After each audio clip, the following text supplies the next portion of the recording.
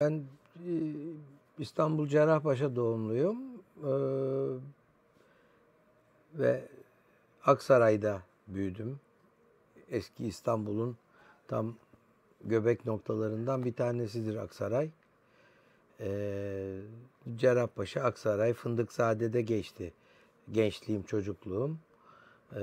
Dolayısıyla o civardaki okullarda okudum ve 1970'li yılların sonuna doğru Pertevniyel Lisesi'nde öğrenim gördüm. 1978 yılında Pertevniyel Lisesi'nden mezun olur olmaz e, zaten 1970'li yılların başından itibaren gidip gelmeye başladığım Sahaflar Çarşısı'na e, sıkça uğradım. Kitap toplamaya çalıştım. Tabii çocukluk ve öğrenci bütçesiyle toplamaya çalıştım.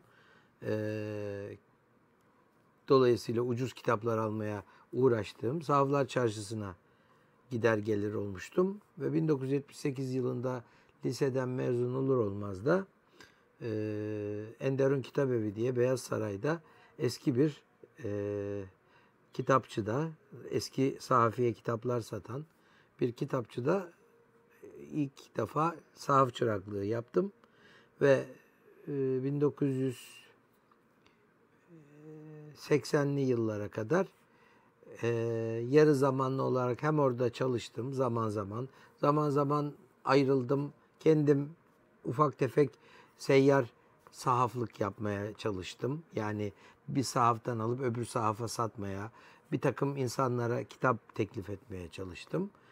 Ee, ve 1980 yılında da 80-81'de de İstanbul Üniversitesi Edebiyat Fakültesine girdim. Orada Türk, Türk Dili ve Edebiyatı bölümünde, divan edebiyatı alanında öğrenim gördüm. 80'li yıllarda öğren, üniversitede öğrenci iken e, yine bu sahaflık mesleğini yani seyyar sahaflık toplama, kitap toplama, kitap biriktirme, aynı zamanda kitabın bir kısım kitabı da alıp satma, arada para kazanma işlemlerini yaptım. Ve e, 86 yılında da 1986 yılında da yüksek kaldırımda Librero de Pera diye bir hem müzayedeler yapan hem de Beyoğlu'nun çok köklü ve eski bir kitap evi olan Nomidis diye bir meşhur Bizantilog, Bizans, Bizans uzmanının kurduğu bir e, dükkanda işe tezgahtar olarak girdim. Uzman ve tezgahtar olarak girdim. Çünkü çalıştığım yerde Uğur Güracar, rahmetli Uğur Güracar ve Ayhan Aktar vardılar ama Osmanlıca konusunda zayıftılar, bilmiyorlardı. Ben ise o tarihlerde çok iyi bir Osmanlıcaya sahiptim.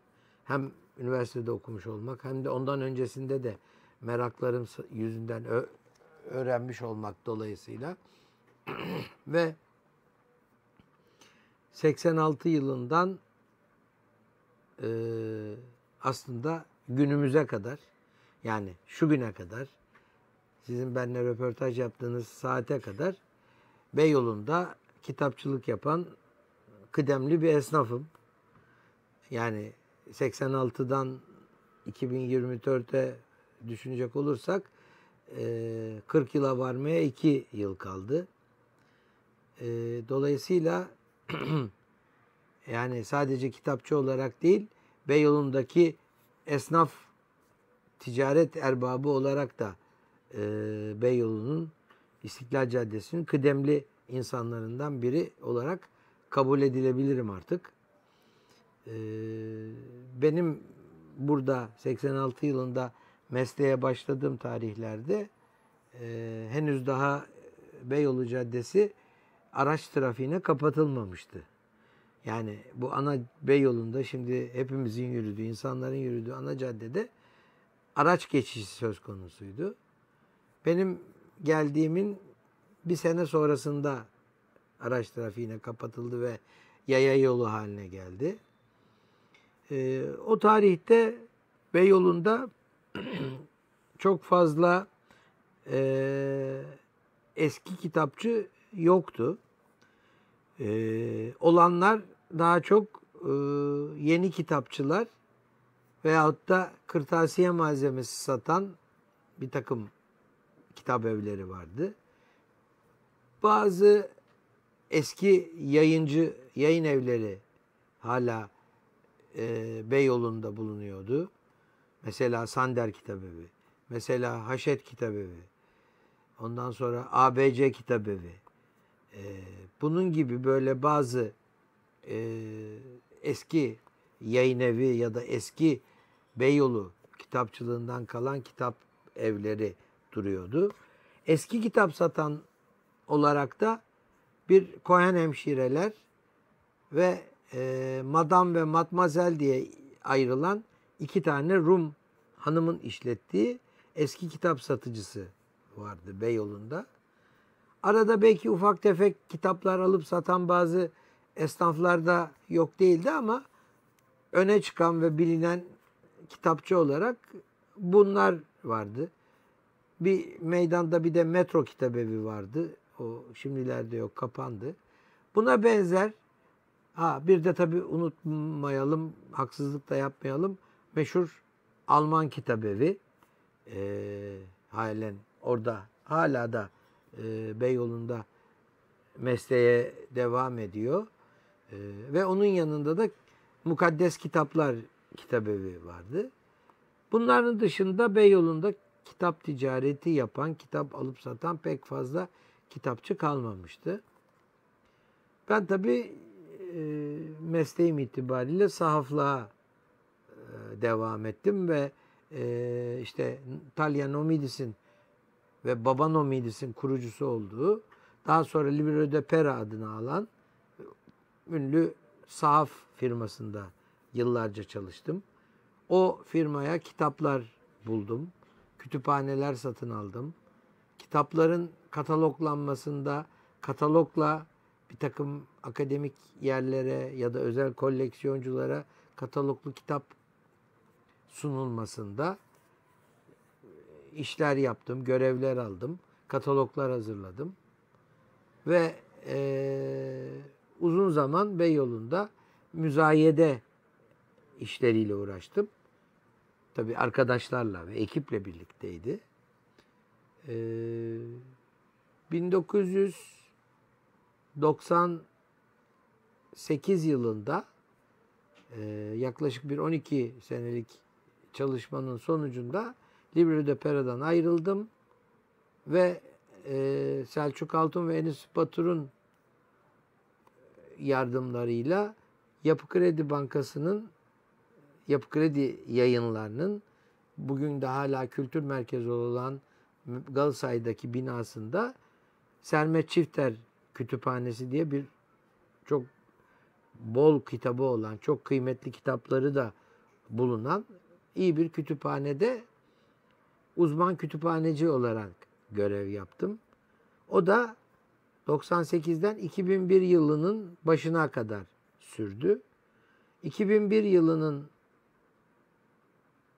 başında oradan da ayrıldım ve ortağım Püzant Akbaş'taki Püzant Bey'le Püzant Akbaş'la arkadaşlığım, dostluğum Libero de Pera'dan başlıyordu. O yıllardan olan bir dostluktu bu arkadaşlık.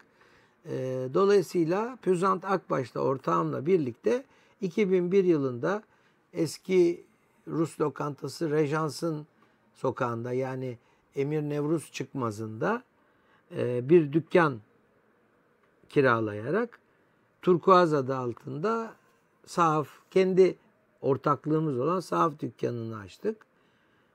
2001 yılından 2013 yılına kadar yaklaşık o dükkanda, orada da 12 yıl aşağı yukarı, o dükkanda ve vitrini olan işte düz ayak insanların sokaktan gelip girebildikleri bir e, sistemle orada dükkancılık yapıp orada sahaflık yaptım. 2013 yılında e, o dükkanın yetersizliği, e, ekibin daha genişlemesi, büyümesi ve artık dükkan kitapçılığın öyle çok fazla ön planda olmadığı ve hani e, kitaba meraklı insanların gelip de vitrine bakarak kitap almadıkları, bilinçli ve bilerek e, alışveriş yapmak isteyen, kitaba müdavim olan insanların gelip gittiği bir e, sisteme dönüştü sahaflık. Onun üzerine biz de bulunduğumuz, çekim yaptığımız mekandaki Ermanhan'da, Gazeteci Erol Dernek Sokak Ermanhan'daki e, bu geniş ve birkaç odadan meydana gelen ofis katına çekildik. İşte 2013 yılından da günümüze e, aşağı yukarı 11-12 yıl yine oluyor. Yaklaşıyor 12 yıla. E, burada bulunuyoruz ve işte e, pek çok odası var bu binanın yapının. Ve bütün odaları silme dört duvarı her odanın dört duvarı pencereleri hariç her taraf kitapla dolu kitapla kaplı. Ee, soranlar oluyor ee, biz dükkanlarımıza hiçbir zaman boya badana e, masrafı yapmıyoruz. Çünkü zaten dükkanlarımızın bütün duvarları kitapla kaplı olduğu için e, herhangi bir öyle e, temizlik ya da boya badana masrafı bizim şirketlerimizde ya da bizim işletmelerimizde olmuyor. Dolayısıyla e, burası artık bir e, kitap merkezi gibi girenlerin çok hoşuna giden, girenlerin hayranlıkla burası aa cennetmiş deyip böyle duvarlarına falan işte e, taparcasına baktıkları bir yer gibi gözüküyor. Yani bizim dışarıdan gözlediğimiz izlenim, izlenimimiz bu oluyor. Çünkü onları çok şaşırtan bu kitap güzellikleri diyelim. Bizim için çok her gün gelip her gün gittiğimiz, her gün kullandığımız için çok alışıla gelmiş bir durum gibi geliyor bize. Ama dışarıdan gelenler e, genellikle ilk defa gelenler özellikle de çok beğendiklerini, çok hayran kaldıklarını, tekrar geleceklerini, tekrar gelmek arzuladıklarını söylüyorlar. Biz de işte e, yıllardır devam ettirdiğimiz bu sahaflığı bu şekilde mutlu mütebessim devam ettiriyoruz. E peki bu kadar çok hani kitapları sevmelerine rağmen sahafa düşmek diye bir tabir var. Biraz da kötülemek amaçlı söylerler. İşte kitapları sahafa düşmüş vesaire. Ee, yani o şöyle bir yanlış izlenim. Sahafa düş. Şimdi bizdeki e, kitapların bizdeki kitapların e, o getiriliş ya da sahafa ulaşış biçimiyle alakalı bir tanım ve terim. E, maalesef bizim ülkemizde kitaplar genellikle kıymeti çok fazla bilinmeyip e, böyle özellikle temizliklerde, bahar temizliklerinde ya da kitap koleksiyoncusu ya da meza, meraklısı öldüğünde kitapla alakası olmayan insanlara kalan malzemeler olduğu için ilk elden ilk baştan savılacak malzemeler olarak görüldüğü için genel olarak ya kapıcıya bırakılan ya kapıya atılan yahut da işte hurdacıya efendime söyleyeyim ya da eskiciye veyahut da böyle mahalle arasındaki ikinci el e, yarı antikacı yarı ikinci el e, eski eşya satıcısına bir anlamda tırnak içinde def edilen malzemeler olduğu için kitaplar geliş şekilleri itibariyle bir nevi bir düşüş yaşıyorlar. Yani e, sahafa kitap miras kalan insanlar direkt iyi bir sahafı bulup ya da kitapları kalitesine ve kıymetini bilerek ya bunlar çok güzel şeyler işte toplayan bize çok güzel şeyler topladı zamanında. İşte biz de bunları değerlendirerek satalım genellikle demediği için ve de hemen böyle çar çabuk işte daha çok menkulü satıp pardon gayrimenkulü satıp ondan gelen parayla büyük bir servet edinme çabası içerisinde oldukları için kitaplardan gelecek 3-5 kuruşun da onlara çok fazla bir karlılık sağlamayacağını düşündükleri için kitapları hemen kurtulmak adına atı veriyorlar genel olarak.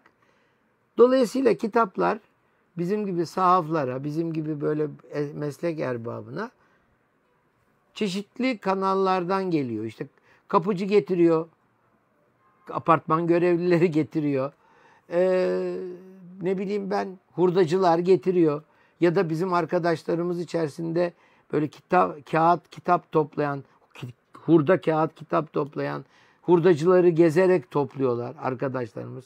Öyle öyle bir bir kolumuz var çünkü bizim. Yani hurdacı gezen sahaf arkadaşlarımız var. Onlar o hurdacılardan, o kağıtçılardan gidip güzel olanlarını seçip getiriyorlar. Kimi zaman kendileri satıyorlar. Kimi zaman bize teklif ediyorlar. Bizim gibi esnafa teklif ediyorlar. Dolayısıyla kitabın e, kitabın evden sahaf esnafına satılması gereken yere geliş sistemi, geliş şekli bir nevi bir düşüşü gösteriyor. Yani bence bu tabir oradan kaynaklanan bir şey. Yani kitapları sahafa düştü. İşte kitaplar adam öldü ya da kişi öldü. Aile tarafından hurdaya atıldı. Sokağa bırakıldı. Kapıya konuldu şeklinde olduğu için genel olarak ki her zaman olmuyor bu. Ben mesela daha geçen gün çok önemli bir elçi kütüphanesini bizzat kendi toplayan hayatta olan kişiden satın aldım Ankara'dan. Bir kamyon kitabı getirdim buraya. Her zaman öyle olmuyor tabii. Ama olduğu zaman da genelde böyle oluyor. Bu atılma oluyor. O yüzden de bir sahafa düşme tabiri, sahafa düşme terimi çok yaygın. Ama ben bunun tam tersini savunanlardanım. Çünkü sahafın rafına koymaya değer görüp sahafın rafına seçme yaparak, elemine ederek, özel olarak bakarak, içeriğini kontrol ederek, kapağına, başka hususiyetlerine, başka bir özelliğine dikkat ederek koyduğu her rafa koyduğu her kitap aslında yükseliyor. Yani sahafa, sahafa giren, sahaf dükkanına giren, sahaf rafına konan kitap aslında düşmekten çok yükselen kitap anlamını taşıyor. Niye? Çünkü o kitabı bir daha soracak, bir daha soracak, belki birkaç nesil soracak, kullanacak, bakacak, okuyacak veyahut da koleksiyoner anlamında zevk alıp teşhir edecek, gösterecek, okşayacak, koklayacak adam var demek. Yani bu çok önemli. Bugün yüzlerce kitap basılıyor, binlerce kitap basılıyor. Bunların hepsi geleceğe kalmayacaklar. Bir kısmı da yani kullanat şeklinde okunacak ve köşeye atılacaklar. Bunlar belki de pek çoğu yok olacak. Pek çoğu bir şekilde elemine olacak. Ancak ve ancak belki işte Türkiye'nin e, derleme kanununa göre her basılan kitaptan dağıtılan belli nüshalar kütüphanelere kazandırılıyor. Öyle kütüphanelerde kalacak o kitaplar. Yani hiç kaydı değeri olmayacak kitaplar ancak oralarda görülebilecekler. Geri kalan hepsi de yok olup gidecekler yani. Dolayısıyla sahafa kitap benim tabirimle düşmez, yükselir. Sahafta yükselir. O kitap içeriği ya da başka bir özelliği nedeniyle rafa konulabilecek ve meraklısına sunulabilecek kitap demektir. O yüzden e, bu tabir yani ters olmakla birlikte genel anlamda da kullanılan ve hepimizin zaman zaman kullandığı bir tabir şeklinde gelişmiş. Yapacak bir şey yok. Son bir sorum da hocam. Her sahafın kendi kütüphanecilik anlayışı mı vardır yoksa belirli bir standart var mıdır? Yok. Sahaflarda herhangi bir kütüphanecilik sistemi gibi e, veyahut da hani sahafların bir e, genel anlamda kabul ettiği, uyguladığı bir kitapçılık sistemi, bir kütüphane düzeni, bir dükkan e, sistematiği yok. Her her kişi kendi fikrine, kendi düşüncesine ve meşrebine göre kitap dizer, biriktirir, satar, alır. Yani e, özel bir merakı olan bir şey yoktur. E, öyle bir sistemimiz yoktur. Ama tabii geleneksel olarak eskiden de çok fazla yok bizde ama yine de geleneksel olarak usta çırak ilişkisiyle e, bu mesleğe başlamış olan adamlar mesela ben gibi e, onların ustalarından öğrendiği bir takım ustalarında gördükleri e, bir takım özellikleri devam ettirmek gibi bir e, şeyleri bir nevi bir loncavari bir sistemi olabilir. Öyle bir geçerlilik var ama günümüzde zaten böyle bir usta çırak ilişkisi çok fazla olmadığı için e, isteyen istediği zaman sahaf dükkanı açabildiği için sahafları denetleyecek ya da sahaflıkla ilgili herhangi bir e, şey verilebilecek ne bileyim ben sahafa bir sertifika vermek veyahut da ne bileyim ben sahaf olduğunu e, kabul edecek bir e, belge vermek gibi bir sistemimiz olmadığı için e, herkes sahaf dükkanı açıp ben sahafım deyip e, istediği şekilde de kitabını rafa koyar, satmaya çalışır. Ona göre de e, hamlesini yapar diyeyim.